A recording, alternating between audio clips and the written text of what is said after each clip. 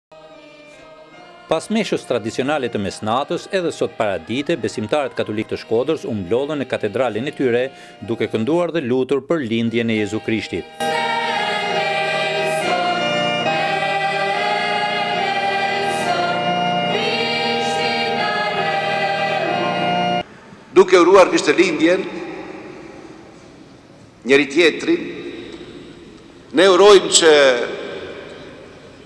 Krishti, Biri i Hiut të Gjallë, të lindë në zemrat tona, të rrijë me ne, të banojë në shtëpitë tona.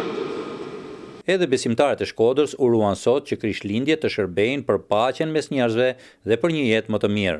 Urime tan popullit shqiptar per këto Krishtlindje. Faleminderës Krishtit që na ka rujt fëmijët tanë e ja dishim për nder natë e ditë Krishtit që na lindi na erdhi me tan zemrën e tan shpirtin i lutem Krishtit. Po urime ma të mirë me pas shëndetin jetën edhe qeveria të jetë një fije rregull për popullin. Gëzuar për shumë vjet gjithë shqiptarëve Krishtlindjet, e të jetë ky viti i dashurisë dhe i paqes në gjithë familje. Po sot në Arqipeshkvinë e Shkodër Pultit ishin edhe kryeministri Berisha së bashku me kryeparlamentaren Topalli, të cilët uruan klerikët dhe gjithë besimtarët për festën e Krishtlindjeve. Është një ditë frymëzimi për besimin tek Zoti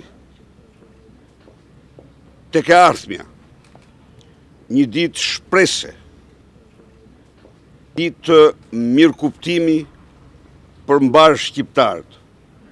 Le të urojmë së bashku. që Krishtlindjet e tjera të na gjejnë më afër ëndrave, dëshirave, projekteve tona.